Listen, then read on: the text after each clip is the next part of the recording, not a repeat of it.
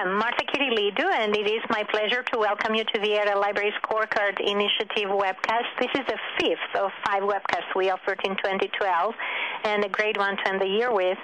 Um, it features some of the opportunities and best practices in deploying strategic metrics in our community and among our member libraries, uh, member libraries of the Association of Research Libraries.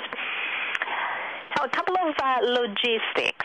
Um, thank you for joining us, and uh, uh make sure, please, that um, uh, the way the setup is that uh, everyone is muted to cut down on background noise.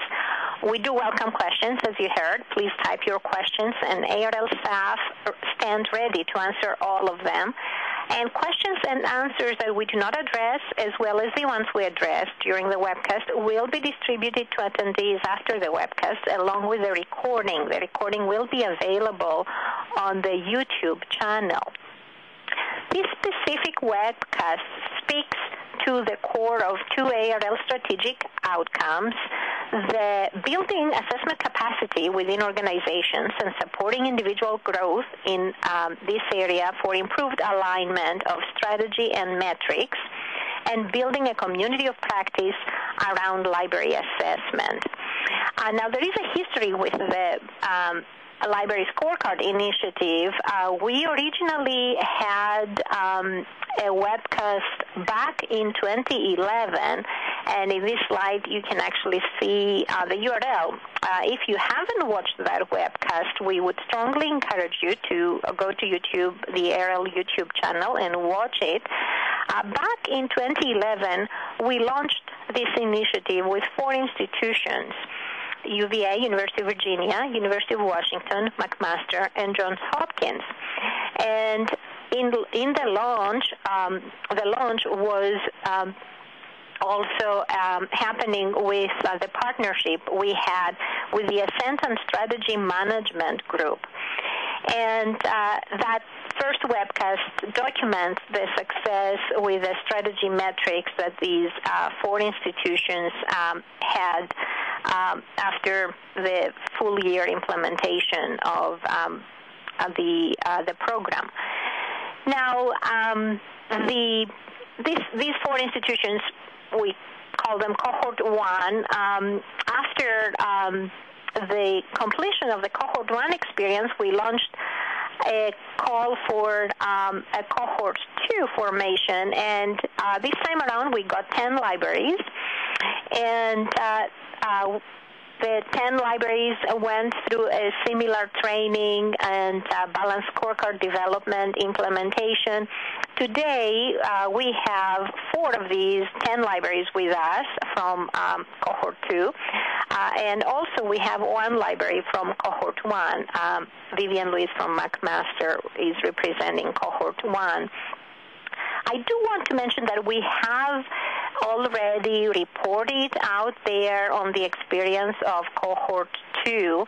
The second link you see uh, in this slide uh, points to a talk on strategies for successful balanced scorecard implementation that Diane Walker, uh, the Dean of Libraries at Notre Dame, and Arnold Hirshon, uh, the Dean of Libraries, the Director of Libraries at Case Western University, uh, they presented at the 160th ARL membership meeting back in May 2012 and uh, the audio from um, their presentation is also available if you would like to get a perspective uh, from their institutions, both uh, cohort two institutions. Uh, and in today's webcast, actually, we also have um, a colleague from Case uh, Western. So let me take a minute to briefly mention all the people that will be featured in today's webcast uh, uh, beyond myself. Mark Cutler is the engagement manager of our partner Ascendant Strategy Management Group,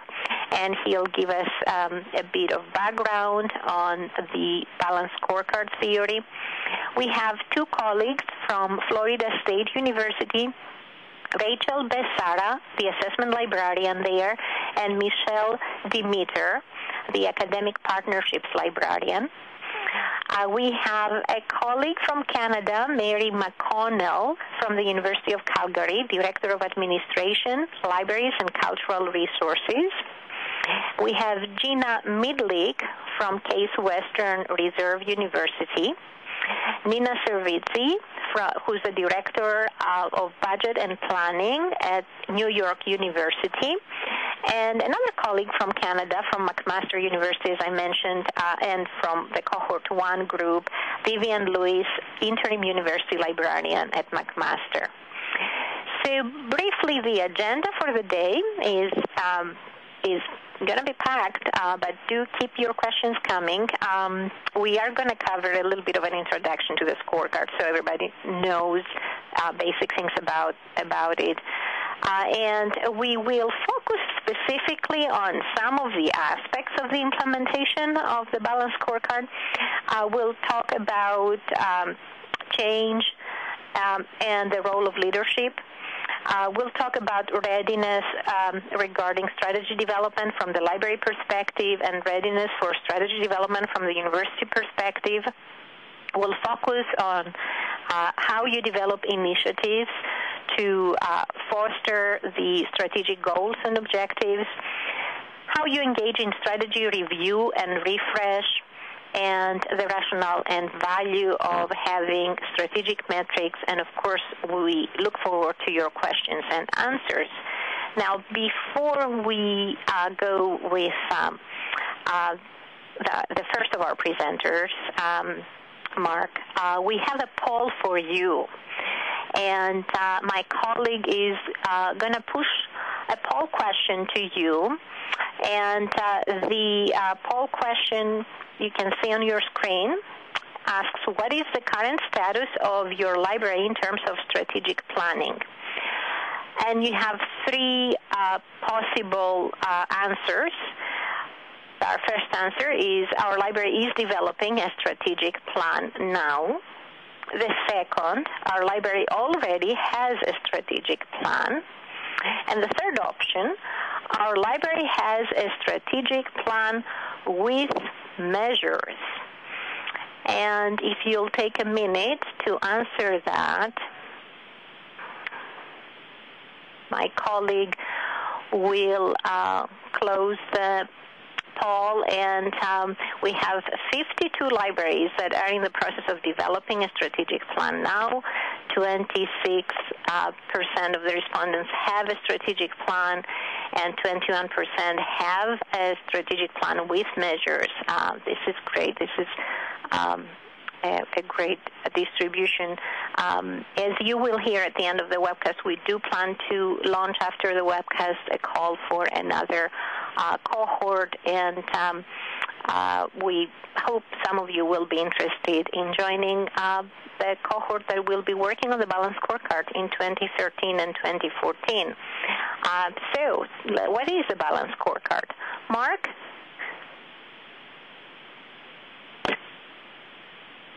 Uh, thank you, Martha, and thank you everybody for, for joining us today. Uh, I appreciate uh, all the participation.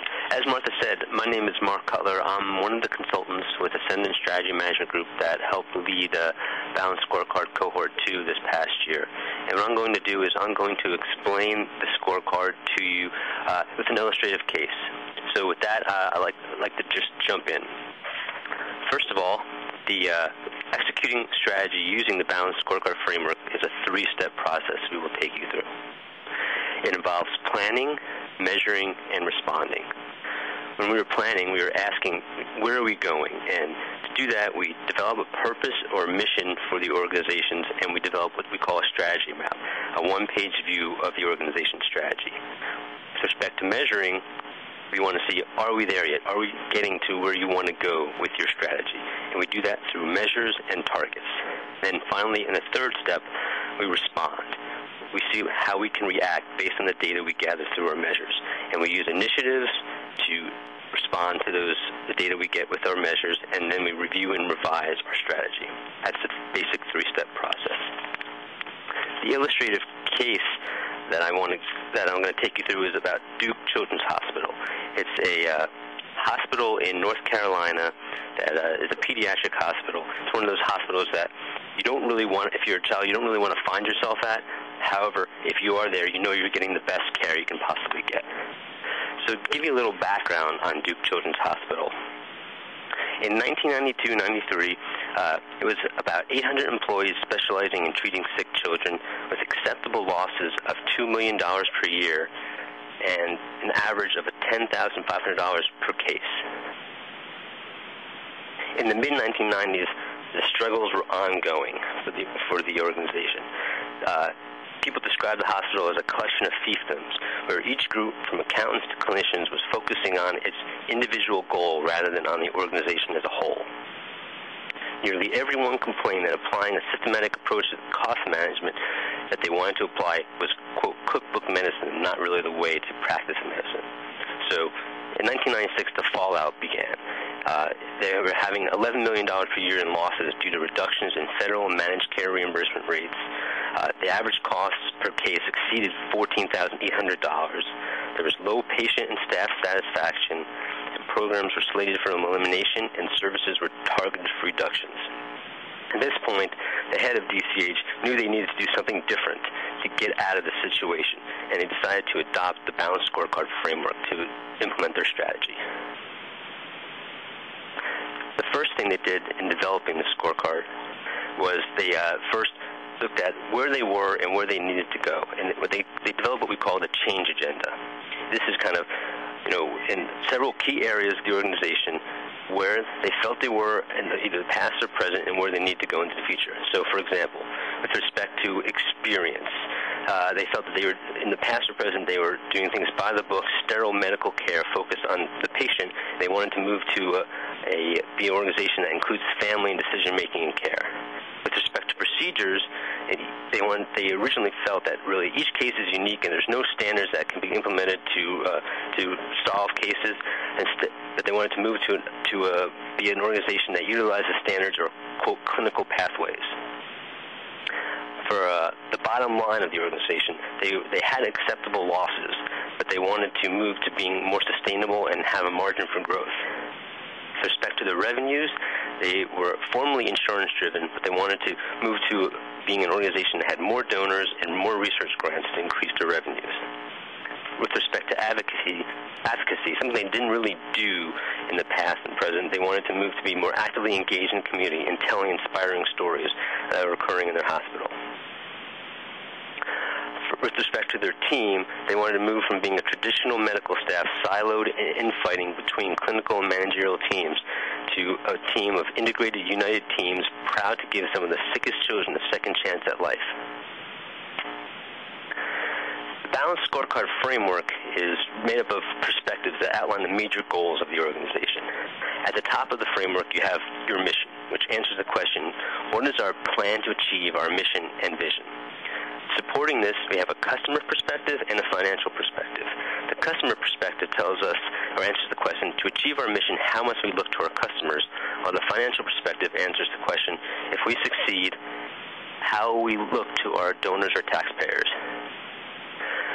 Uh, supporting the customer and financial perspectives, we have the internal perspective, which answers the question to satisfy our customers and financial donors, which business processes must we excel at? And finally, supporting all of this is a learning and growth perspective, which answers the question to achieve our mission, how must our organization learn and improve?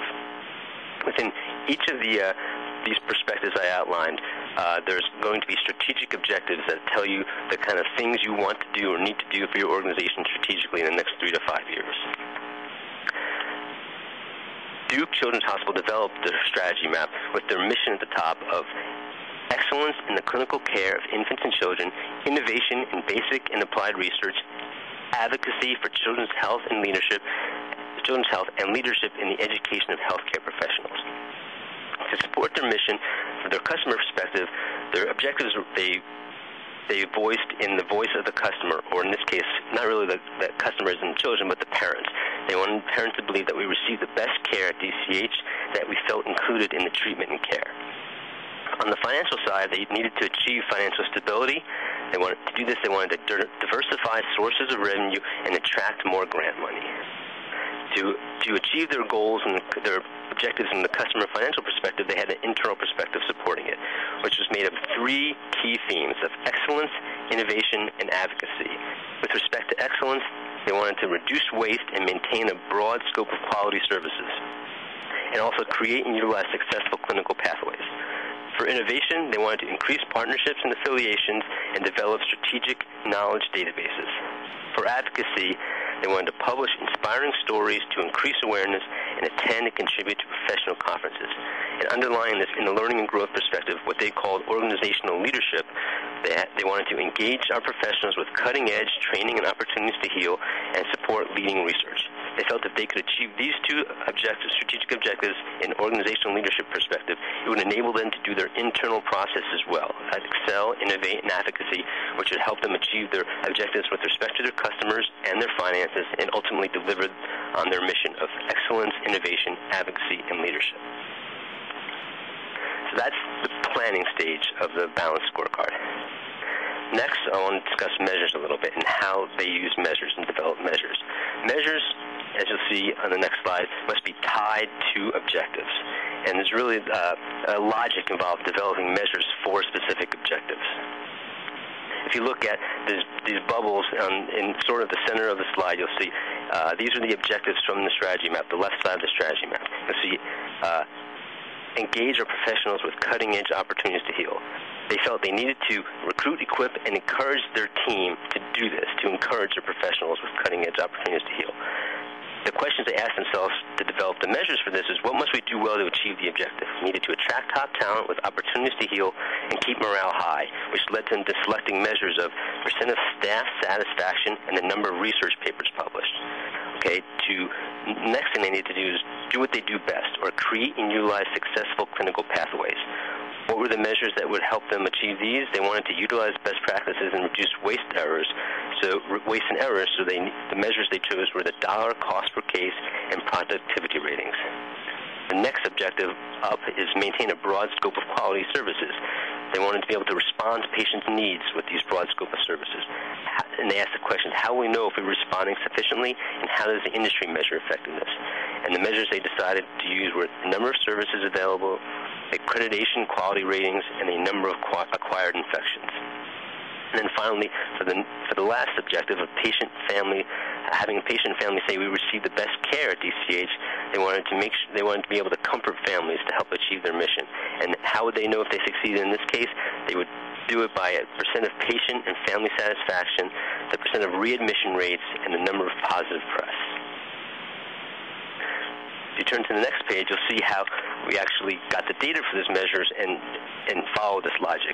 So on the, on the right-hand side of the slide, you see patient satisfaction increased from 86% to 94%. Readmission rates fell from 7, 7% to 3%.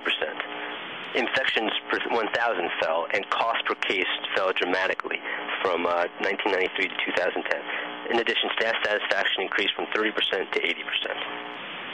The next page, you'll show uh, show some of the kind of measures detail that that is required in uh, developing your measures. I don't want to go into this too much, but just to say that there's more behind behind the measure than just that one statement of say percent of readmission rate. We had to understand the rationale, the frequency, the source of the data, what the chart looks like, and the kind of actions you would take from the measures.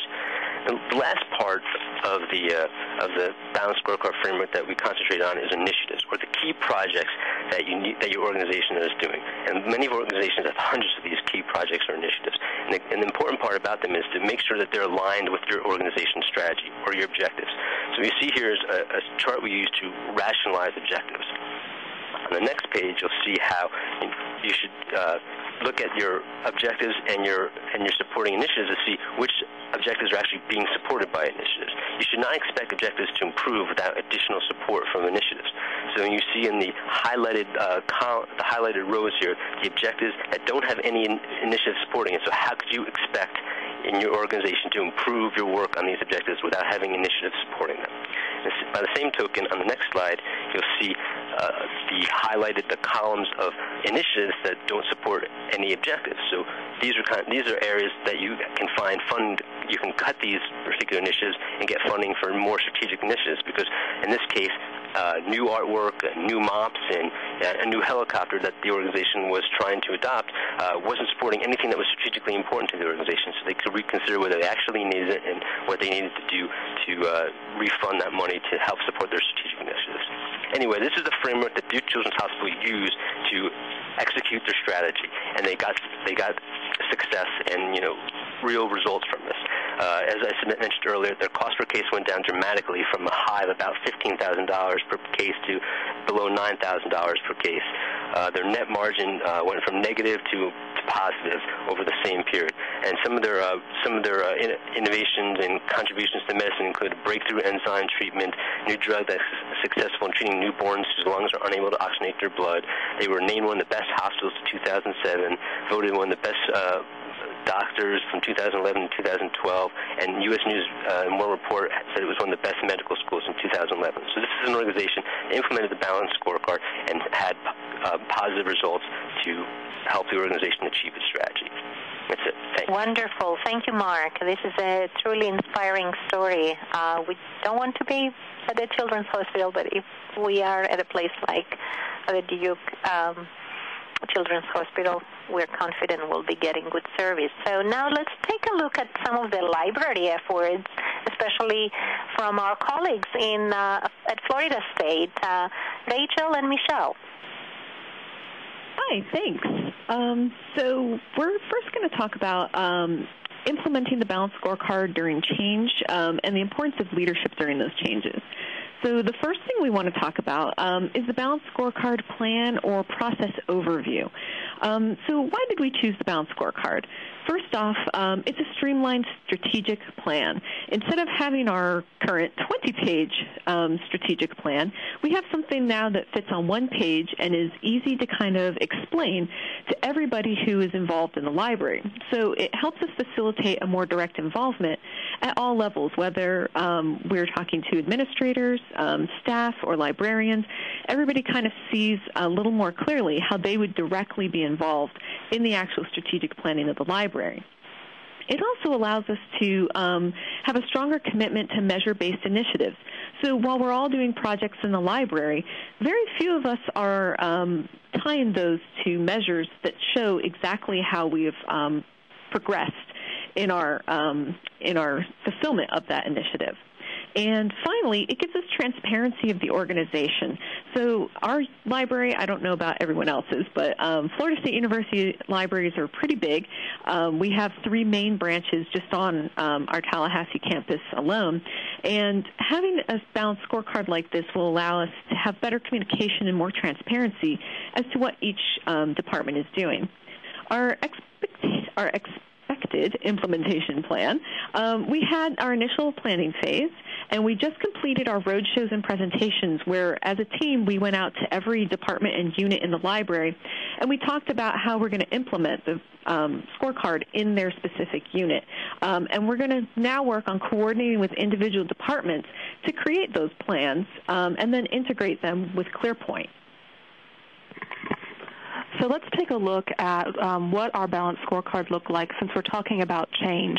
This is what our balanced scorecard looked like about four months into the process. Um, we basically had a strategy map mapped out, and we had the main ideas on here. Now, we knew that we were going to be going through some leadership change as an organization because we had two um, open leadership positions, and we knew that we had some work we needed to do on our strategy map in a few areas, and that would make some changes. But I think we didn't expect the changes to be quite as much as they were. And if you um, look at what our strategy map looked like in December of this year, um, you can see that you can see I've highlighted the different changes that we've made. You can see that there's quite a difference in the uh, map. We've changed about half of it. Interestingly, the core concepts are all the same, but we've actually tightened the language a lot. And the, the changes that we've had as an organization that Michelle's going to talk about in just a moment really um, shaped the map and improved it and made it better. Um, so now Michelle's going to talk about some of the changes that we went through as an organization. So at FSU, I think we probably experienced a little more change than perhaps other libraries. Um, we had several leadership positions that were both filled and vacated within the past year. Um, we had two associate deans who joined the library. um, two associate deans, one of whom had just joined, um, left to be deans or directors in the summer of 2012. So while we have currently filled one of the associate dean positions, which actually started last week, um, we have our other open position um, beginning in January. So we're anticipating that there's more change down the line, and we are preparing for that as we speak. Um, in the interim, there was um, the position of Associate Dean for Administration created. Um, this was a position, this was a person who already worked in the library, but her duties um, and title kind of shifted. Um, and then we also experienced a restructuring of public services, ILL collections access, collection development, and technical services, which pretty much covers every department in our library. Um, so we really kind of had to readjust at various places um, to make sure that we were keeping on track with the balanced scorecard. Looking more closely at the shifts within the balanced scorecard team, we can see that some of these changes also um, affected the composition of our team and how we functioned.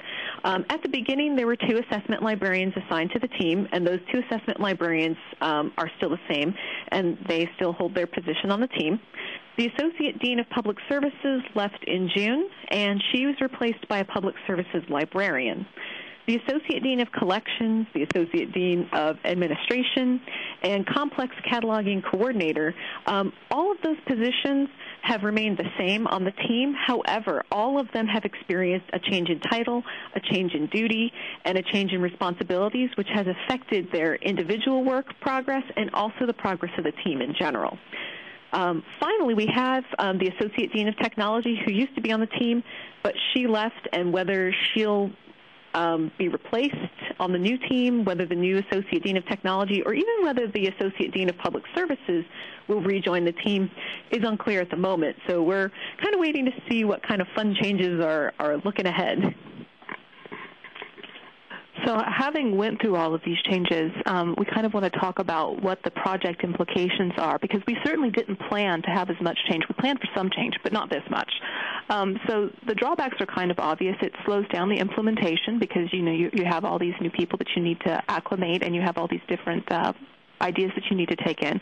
There's a, a, certain amount of project fatigue and confusion that sets in because you know you roll out that we're going to be doing this balanced scorecard initiative, and we start that in the uh, summer of 2011, and and the uh, winter of 2012. We're, we're still working on that.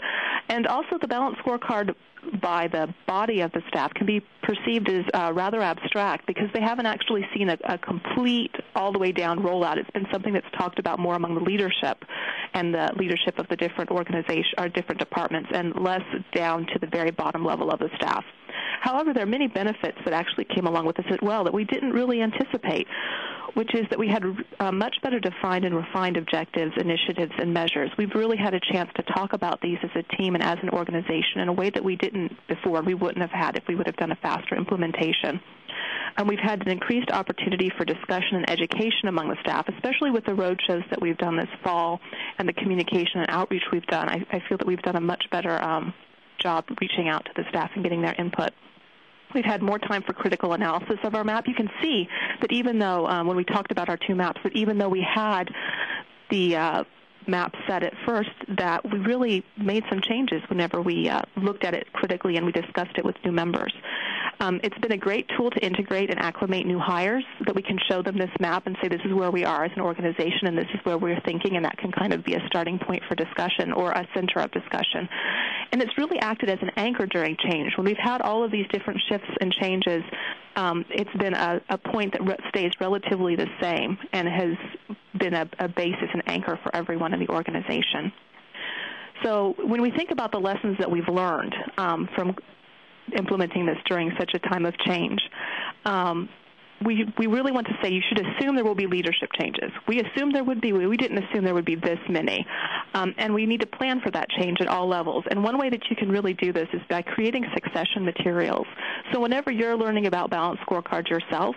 Um, put together little packets as you go along to kind of summarize where you're at and what you've learned and where you're going, because this will be really useful when you're bringing new members on board. Um, be, be flexible and realistic in your timelines because there's going to be changes and there's going to be roadblocks. And if you're aware of them, you're going to be able to work around them, um, and that's really important to keep in mind. plan to incorporate new ideas. There's, we had so many wonderful insights from the people that are coming on board and things we didn't even think about including before. So make sure that you leave room for those new ideas when people are coming on. Um, and use that lost time. So it seems like downtime. Use that lost time to communicate and educate the staff. Um, it's been a really valuable experience for us. We've gotten a lot of wonderful feedback and been able to talk to an organization on a level that we hadn't wouldn't have been able to without. Um, and use the scorecard to emphasize continuity. It's one thing that really doesn't change. This is the tool we're going to be using, and this is the general shape and look that it's going to have. But it's also an opportunity to celebrate the change. Look how we're getting better. Look how we're improving. Even before you get to full implementation, it's a tool that you can use to, to do this. So we're really looking forward to um, moving ahead as an organization. I'm really excited about the new leadership that's coming on board and the changes that have happened and seeing how this improves our process even more and we look forward to staying in touch with your uh, future changes too. Now, I do have a question about uh, branch libraries in the system and how they've been affected by system by changes. Um, the branch. Yeah, are there branch libraries at the Florida State system? Were they affected at all? Any leadership state uh, changes at the branch library level? So at the main branch libraries, yes um, the mainline branch libraries that we've talked about have had leadership changes um, on the department head level um, even during this time. And that has impacted our presentation of the strategy maps, especially when we're doing those outreach and roadshow pieces. We've been uh, discussing with the leadership at the different branch libraries how they see their um, their branch contributing to the balanced scorecard specifically, and the initiatives and measures and which objectives they're contributing directly to in the next year. And we've had some really fruitful discussions, and it's been a great starting point for those kinds of discussions. Very good, very good. Yeah, it was one of the uh, participants that was asking that question. Uh, thank you. So uh, let's uh, move a little from down south in Florida to north in Canada, Calgary. Mary? Greetings from Calgary. Um, in our case, we needed to consider the strategic planning process at the University of Calgary as well as some significant happenings within libraries and cultural resources in determining when it was the right time to introduce our strategic scorecard initiative. University of Calgary was founded in 1966. There's currently about 31,000 students, 4,700 staff. Libraries and Cultural Resources has a staff of about 250 and our convergence brings together the university library, main and branches, the university archives, art gallery, the library and archives of the military museums, and the university press. In 2010, we had an organizational realignment to focus on broad outcomes across our whole organization. So we have collections, research support, learning services, and scholarly communication. As mentioned, we are members of Cohort 2. We've had three staff members participating in this since June 2011. We introduced the initiative at staff councils at that time, drafted our strategy map, discussed with it with the senior leadership group, and did some preliminary work on our measures, targets, and initiatives. However, we soon realized that we weren't yet ready to proceed full steam ahead for reasons related to both the university and to libraries and cultural resources. Uh, beginning in January 2011, the university undertook a major strategic planning exercise and launched a new strategic plan the following September. That would be September 2011 with an eyes high vision of by our 50th anniversary in 2016, we will be one of Canada's top five research universities. And soon after that, there was consultation on the academic plan to develop a roadmap for achieving the vision, and that was introduced in April 2012. Soon afterwards, the strategic research plan was developed, and that incorporated the academic priorities, and it was completed in July 2012. So we needed to make sure that our balanced scorecard aligned with all three of these plans. But at the same time, uh, closer to home, uh, Libraries and Cultural Resources was literally on the move. Two new buildings in 2011. Uh, the Taylor Family Digital Library is the physical convergence of libraries, archives, art museum, and scholarly publishing. And in January 2011, we moved learning services into the first two floors of the building. However, by April that year, because of engineering and construction issues, we had to make a very difficult decision to move back into our old facility. So between September and November of that year, we gradually moved services programs and most of the staff into the building or in some cases back into the building. And our collection moves were also affected by these building issues. And the building on the right, the high density library, that's about 10 kilometers from the main campus, and that's our remote storage facility for less used materials of all formats. It's been fully operational since September 2012, and to date there's over 1.8 million items stored there. So with these things going on, all these disruptions and changes, we the team realized that we needed to step back and wait for the dust to settle before we really got into the balance scorecard process. And it the dust did settle. And we we started up again. Um, we made sure we had clear objectives about aligning with the university strategy, providing support for the academic planning and priorities, and making sure that we engaged our staff as much as we could in the strategic planning.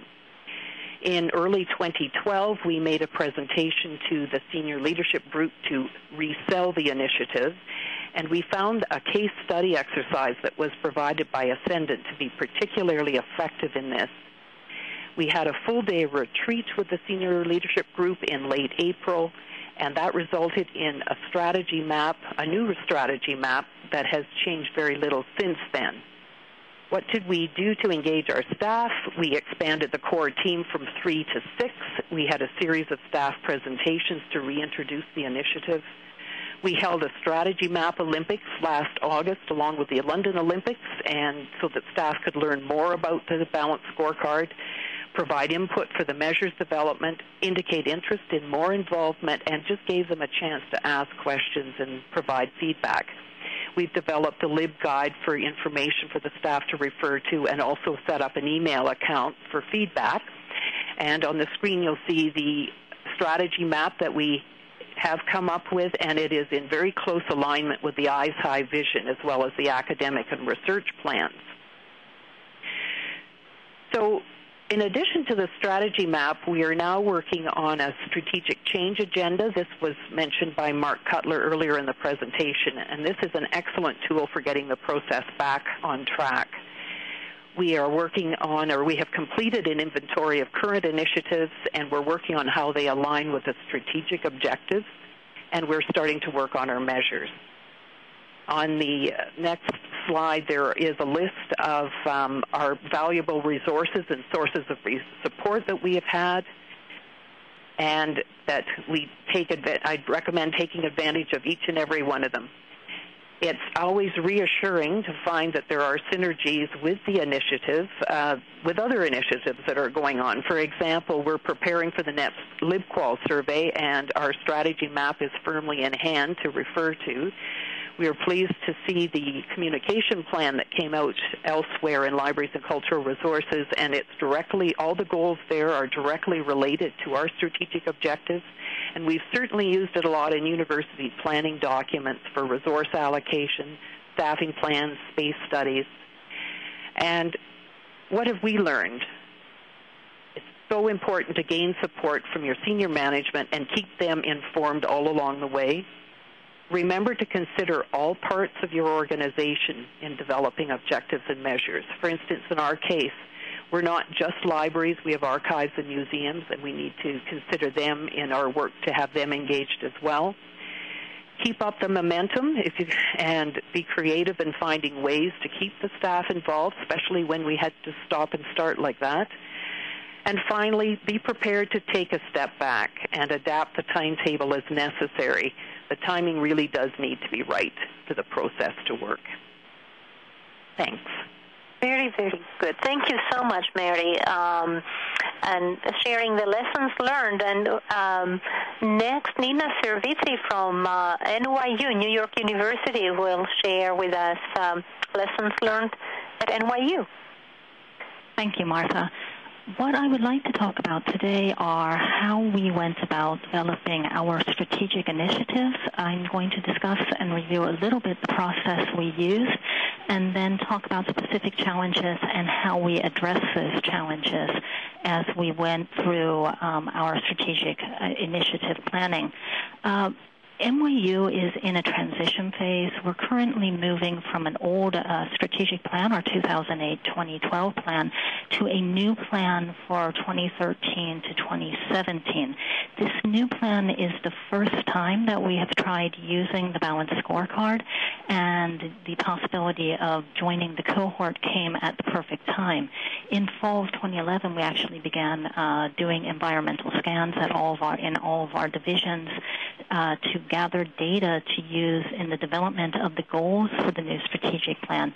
And we actually had the goals and outcomes written by June of 2012, and the staff at the libraries were introduced to the new goals in June after June, um, we began turning our attention to uh, the next steps. And of course, before we could move forward, we needed to begin thinking of initiatives for the entire division.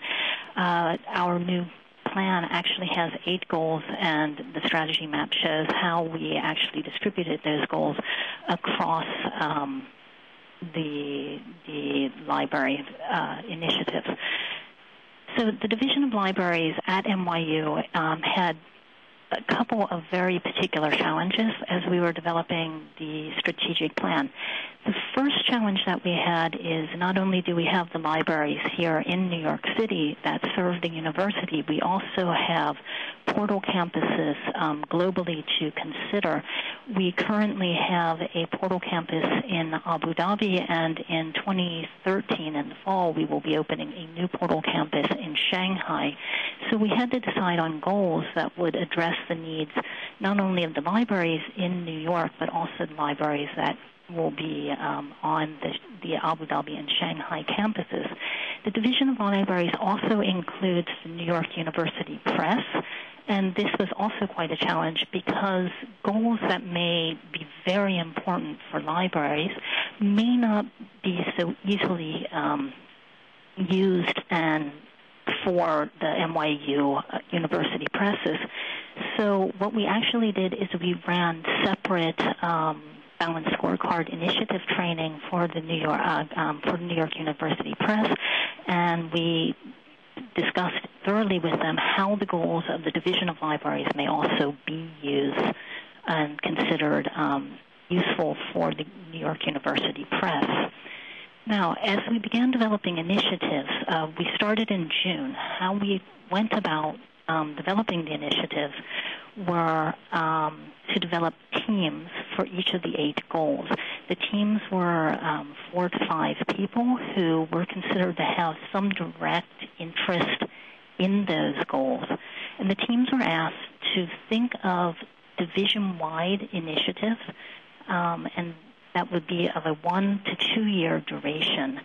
Um, in the end, the teams produced 32 goals, or 32 initiatives, I'm sorry.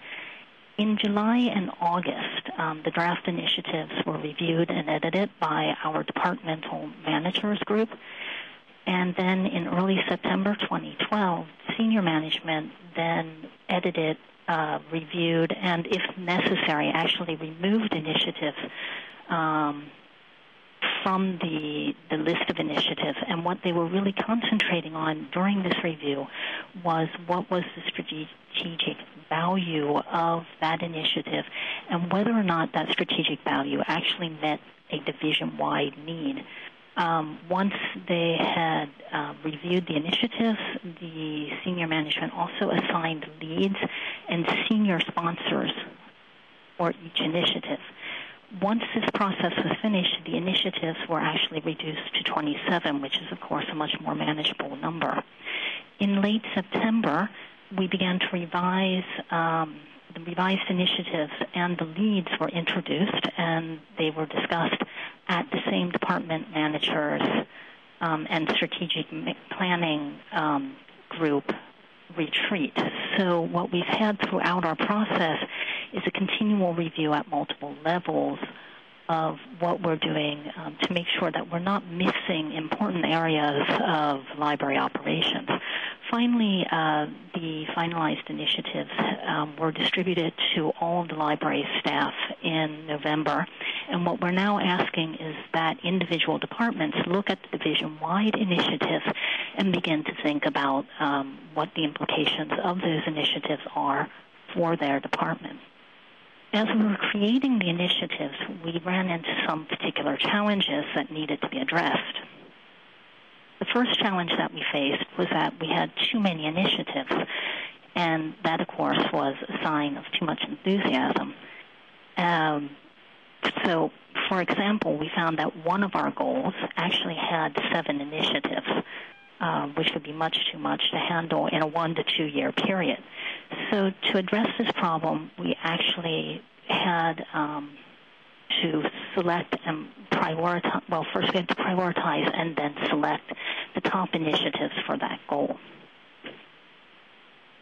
The next challenge was that many of the goals, uh, many of the initiatives, as they were given to us, were actually not measurable. Um, they were either too complex or they addressed areas that may actually be better suited for another goal. So in our example here, you can see that it actually um, is one initiative that seems to encompass two very distinct objectives. The first being developing in-house expertise, and the next being prioritizing the organization's digital infrastructure.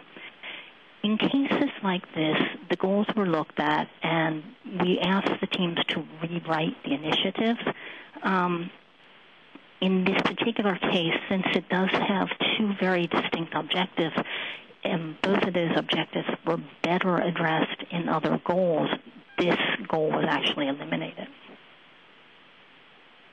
The next initiative that we, uh, challenge that we had was that many of the initiatives didn't address the strategic needs of the division. Um, the initiative as written was actually very narrowly focused and was more appropriate as a departmental initiative.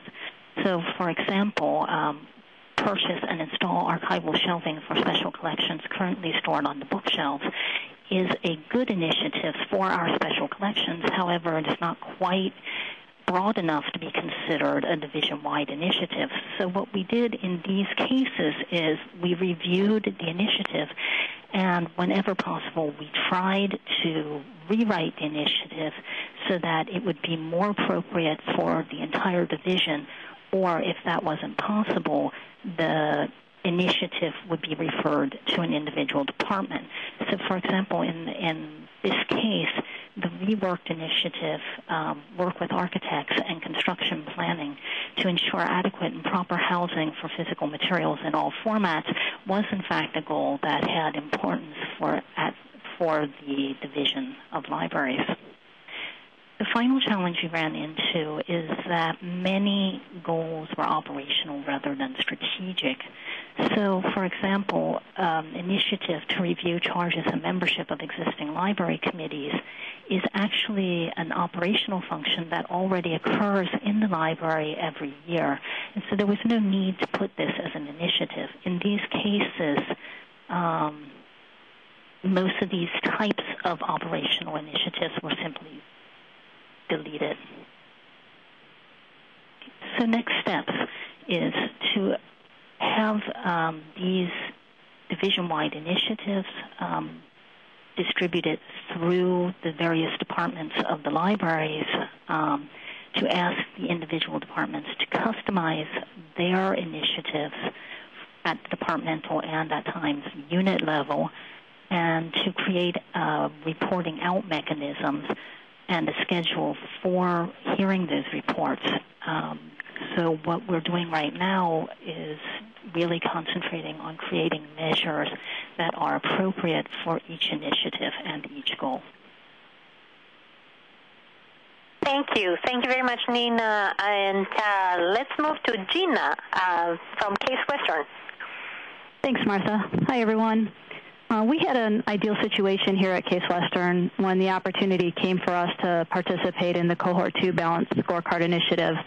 Uh, the university had just completed their strategic plan forward thinking, so it was well underway by the start of the academic year in 2010.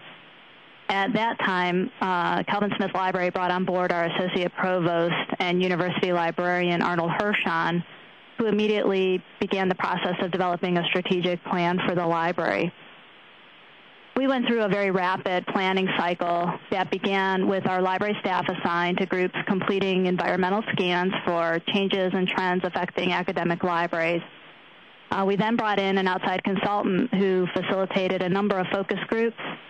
Um, they gathered input from library staff, faculty, and administrators that generated our mission, vision, values, as well as our goals and objectives. As the plan was developing, we hosted a number of open forums for all the campus community to provide feedback. And we then incorporated that feedback into the final draft of our strategic plan. At that point, we had a lot of buy-in from the campus community, and within five months, uh, the plan was complete and approved by the Faculty Senate. This placed us in an ideal situation to join the Balanced Scorecard uh, Cohort 2 group. So what we took with us to that first meeting of the cohort was a completed plan that outlined our mission and vision, um, which at the time we were in the process of developing a new organization that emanated from the mission and vision. Our goals, um, we didn't create any new goals for the library. Uh, we felt that the easiest way to align with the university's goals was to just use the university goals as the library's goals. Our objectives um, were a result of all of the feedback from the focus groups, meetings, and discussions throughout the entire planning process. We kept our objectives to a reasonable amount that could actually be measured and tracked within the time frame of our plan. And then we were in the implementation stage of um, a full staff reorganization, as well as uh, the process of changing our budget structure to fit the new organization to allow for more effective uh, spending and assessment. We felt that the balanced scorecard was an integral part of and a natural outgrowth from our whole strategic planning process. It wasn't just an independent exercise. So what we came back with from the first cohort meeting was the following strategy map. Our strategy map has stayed relatively the same since we created it. Uh, we've made adjustments and used it most effectively as a communication tool for each of our new teams to see where and how they fit within each of the strategic objectives. We had a number of meetings with staff on every level, starting with our leadership team, including the associate provost, our associate directors, and the team leaders. And then we met with the team leaders and their individual teams to go through the balanced scorecard process. And we also met with the entire staff as a whole so that everyone was hearing the same information and they were understanding the reason for the strategy map. You know, the benefits of mapping our objectives and the direction that we wanted to move toward and showing the progress of our plan. Um, I found that communicating within the various formats seemed to help bring out a lot of questions and concerns and to address all of the issues. Even if I had to repeat sessions, it was okay. Um, everyone seemed to be on board with the process. And we also found that it was really important to communicate how new projects or assignments or changes fit within the strategy map as we moved forward um, so that our staff was able to see the strategy behind the decisions being made. So where are we today? Um, we've already identified measures for each of our objectives, and we've developed initiatives and targets for each. Right now, we're in the process of gathering data and developing dashboards that we can use to demonstrate our progress to date. Um, Martha's asked me to share an example of one of our measures and initiatives. So the next two slides show how our strategic objective um, of implementing a strategy to grow relevant and valuable collections that support research, teaching and research and expand the availability of and access to scholarly content. Our team leaders met regularly, and, and they still do, um, in order to identify ways in which we can measure and demonstrate the progress of our objectives. Uh, this specific example involves three of our teams contributing to this measure. The research services team will identify relevance and gaps within the current collection as a result of a citation analysis and reviewing interlibrary loan and consortium borrowing requests. The demand-driven acquisitions project is adding relevant collections that patrons can immediately download. We made targeted purchases to support our alliance areas and new faculty. and we're making an effort to have any borrowed materials returned to the shelves within a 24-hour time period so collections are accessible. The last slide is a visual concept that we want to use to demonstrate to the university community the progress that we're making. Uh, the team leaders, along with the leadership team, held a day-long retreat that discussed each of the dashboards for the objectives. Uh, we found that in many cases, we were on the right path with the data we were collecting. We also found that in some cases, the data we were collecting wasn't exactly what we needed. So we had discussions and determined what we needed and then made those changes within our measures. We found that sometimes the qualitative data demonstrated more progress than the quantitative. So it's important to have the balance of both.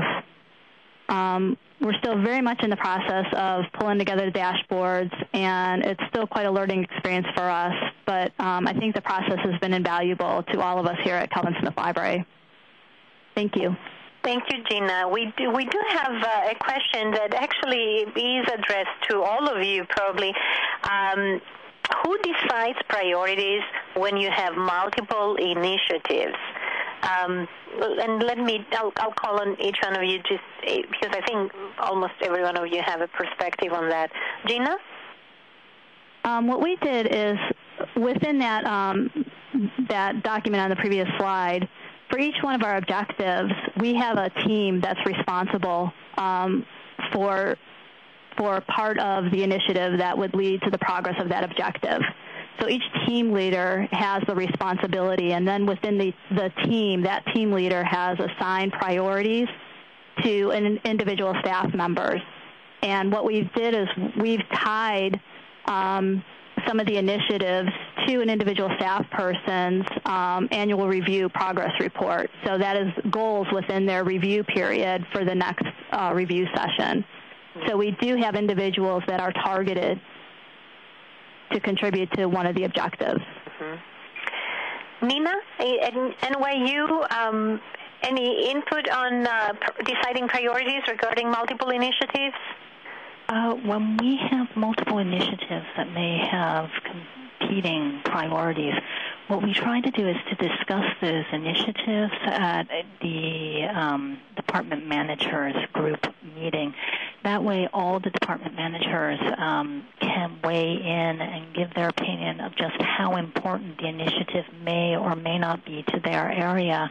And when possible, we try to um, have the means to actually address as many initiatives as we can. That said, um, there are times when you just don't have enough resources, and if we can't come to a, any agreement at the department managers group meeting, then the final decision is made by senior management who will look at the initiatives and then make the decision based on resources available. Yeah, thank you. Mary? Um, we're not that far along to be setting priorities, but it uh-huh. would be in dis- it would be in discussion with the senior leadership group. Thank you. And uh, Rachel or Michelle? So at Florida State, we've been um, talking about initiatives, and the priorities are being set by the department heads and the associate deans on those various areas of what, what gets worked on, on and what has the priority. Very good. And our next uh, guest speaker, Vivian Lewis. Uh, Vivian, if you can also address this issue um, in your segment, that would be wonderful. Vivian. Uh, certainly, Martha. I'll be I'll be happy to do that. It segues in really nicely. Um, so my focus this afternoon is is on the critical period following implementation, and I'm looking at the the issue of how you review your scorecard with your leadership group and with your staff. Now, on reflection, I, I, I realize that I'm, I'm really talking about the after party. Uh, and we, we launch our scorecards with, with great fanfare, and what really comes next is, is the important part. And uh, unfortunately, as, as many of us have experienced, um, sometimes uh, not as much happens after the launch as we would hope, or it doesn't happen um, in, in as quick of a framework as we would like. Uh, and in that case, the scorecard can can fall into disuse or even some disrepute, and that's not something that we want to happen. So what we really need to do is, is to live the scorecard, not just to launch it, and, and that's really my focus this afternoon. Um, so at McMaster, we implemented relatively quickly. And looking back at every stage in our implementation process, we actually thought we had done the hardest part. So when we went through the mission and vision, we thought that perhaps that was the hardest part. Or when we implemented our strategic objectives, we thought that was the hardest part. Or when we actually came up with our set of measures, perhaps that was the hardest part. The reality is that going public with our scorecard and publishing that glossy brochure was truly the easy part. And the process of implementing scorecard actually requires a tremendous amount of work. The other piece is that the scorecard implementation requires a huge amount of bravery on, on the part of both the leadership team and on behalf of the staff. So from the leadership, leadership team's perspective, it requires a commitment to allow deep and regular conversation with the staff about the strategic directions and about the metrics, not just at the implementation process, but throughout the, the course of the life of that scorecard, so over the long haul, over many years. And from the staff's perspective, it also requires a lot of bravery to, in some cases, suggest new directions or suggest new measures that may have an impact not only on the organization but on individual departments and individual staff. So one of the key components of the McMaster implementation um, has been complete uh, public disclosure. And I'll encourage you all to, to take a look at our website. And we link our objectives, our measures, and all of our initiatives together um, on at the URL that, that's indicated on your slide. Uh, we post our full project plans. We post not just the metrics or the formulas of what we're going to gather, but we, we post the actual data itself, even when it isn't very good. And that, I think, is an important thing to remember. So if you go to our website, uh, this is actually what you'll see. You'll see that we've we've tried very hard to put the score back in the scorecard, and so um, and it's up on your your website right now. You'll see uh, each of our each of our metrics is listed, and the metrics themselves are hot linked. Uh, you'll see the score that we've assigned ourselves, and in this case, we're we're showing you know a mixture of reds, uh, greens, and yellows. Of course, greens meaning meaning that we're very successful, uh, yellows meaning we're on our way but we're not there yet, and reds, of course, meaning that more work is needs to be done. And then you'll also see links to the strategic initiatives that we've identified as being necessary to fill that gap between our, our uh, targets and, and our reality and, and that's all publicly available. Um, and if you if you move on to the next slide, you'll see uh, an example of an actual scorecard measure. In this case, what you're seeing is the the formula and the actual data and a small visual associated with one of our measures. This one is is um, content in our institutional repository. And it's all there, and as soon as that data is updated uh, with the leadership team, then a new version of the scorecard goes up. And if you actually, from our scorecard, clicked on one of our strategic initiatives, you would see the, the template providing you with the objectives, the milestones, the members of the team. And then with one more click, you'll get to the most recent project update for that particular initiative. Uh, and in this case, we ask each of our strategic leads three basic questions. What have you done since your last report? What do you intend to do during the coming months? And what challenges do you face uh, in actually being successful? And we ask this of them two times a year. And, and that's in some ways uh, how we make it work. But if you move on to the next slide, you'll see our actual strategy calendar. And this is the uh, commitment that we make to the staff and, and to our campus community. And this tells you that every single month we're committed to a specific activity and the activities roll through the year. And just by way of example, you'll see that the leadership team discusses all the metrics and all of the initiatives associated with the user perspective twice a year in September and then again in January. And the same process happens with learning and growth, with internal process, and with financial in December, we commit to having some kind of update for our staff, give them a sense of how we're doing so far, uh, give them some um, uh, review time with the with the metrics. The metrics are all up on the public website, but it gives them that opportunity to talk about it as a group. And then when it comes to May, June, we have an opportunity uh, for the staff to, to talk with us about changes they think as being necessary in both the strategic initiatives and with the metrics. Then the, um, that whole package of information goes back to the leadership team, uh, and they have an opportunity to do the final review and refresh so that come August we're ready to go live again with a new version of our scorecard. So bringing it all back um, to the beginning uh, with the question that was asked from the floor, you know, who decides? I think the answer for McMaster is, is fairly clear. The, the balanced scorecard team can make recommendations, but at the end of the day, it's the leadership team that has uh, ultimate responsibility for the strategic plan and for the success of the organization. So ultimately, they are the ones that decide um, uh, the final scope of the calendar, the final scope of the metrics, and the strategic initiatives linked. So I think I'll conclude it here and, and turn the floor back to Martha. And Vivian, we have a question that I think uh, you and uh, Mark maybe afterwards can answer, um, uh, since you both have uh, most experience with uh, uh, the balanced scorecard implementation. How long should a library expert, how long do they have to engage in the balanced scorecard implementation to get their program functional? Um, that's an interesting question, Martha. The, the time issue, it, it's ha- hard to make a definitive answer. I can only speak on behalf of my own particular organization.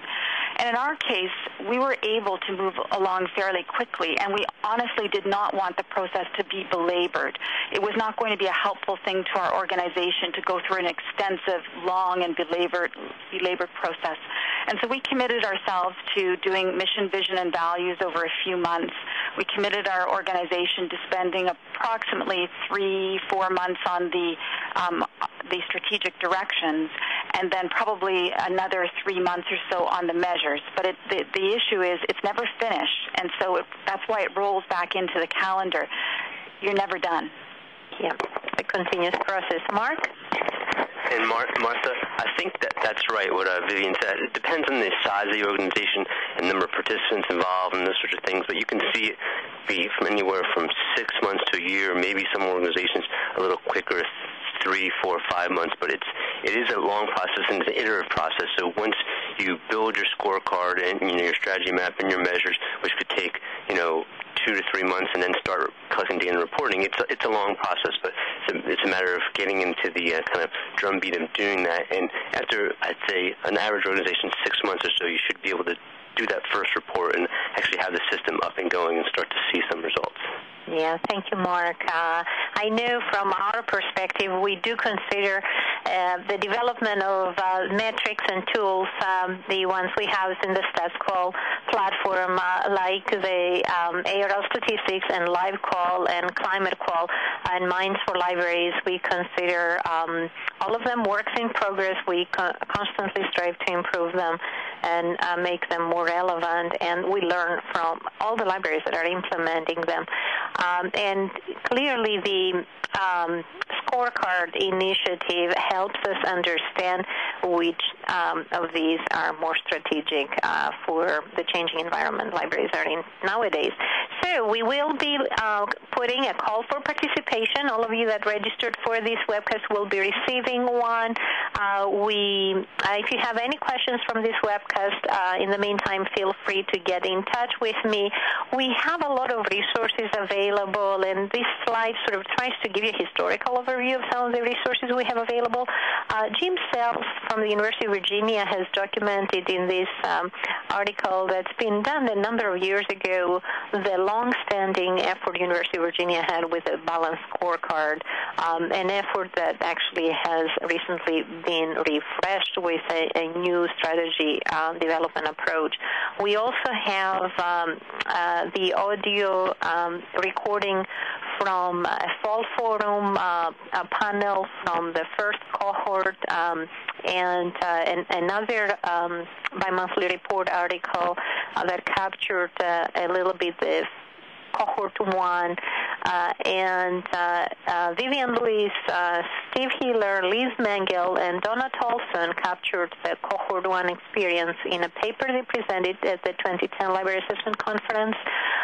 Um, we did mention um, earlier in the webcast the uh, first uh, part one of the ARL Balance Scorecard webcast that's available on the on the ARL YouTube I hope uh, many of you uh, that are truly interested in this will will go and watch it.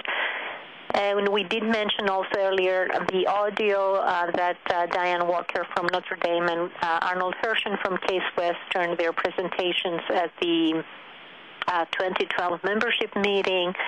Um, and of course, we now have uh, today's workshop, and I want to thank all of our participants and all of our presenters uh, for their valuable insights uh, in the development of the balanced scorecard process.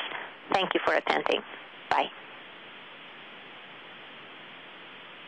Thank you. This concludes today's webcast. We thank you for your participation.